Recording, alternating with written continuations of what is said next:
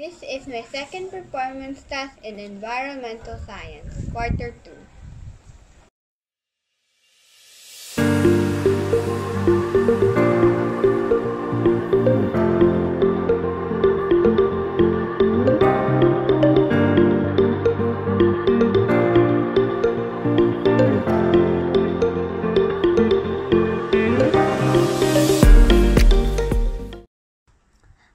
Cycle or hydrologic cycle is a continuous interaction of evaporation, condensation, precipitation, transpiration, and respi- respiration from land and water surfaces.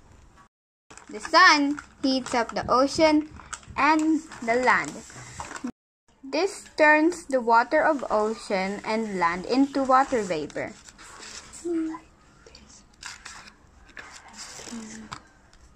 like this. Rivers, ponds, and lakes. Some evaporations in plants are called transpiration. This water vapor goes up in the sky. This is called evaporation. Then this water vapor turns into droplets once it reaches the sky and form clouds.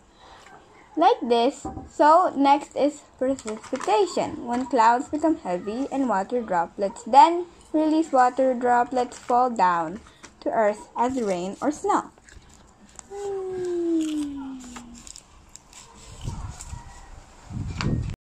This is called precipitation.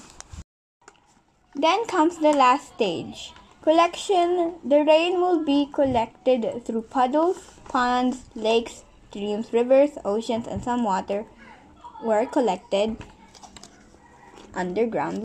We cut open the underground. There are some space over there between of the rock. In between of the rock. If this space is filled up, it will start to it will start to flow out. It will find a path and either flow into the river or oceans. That's completing the water cycle.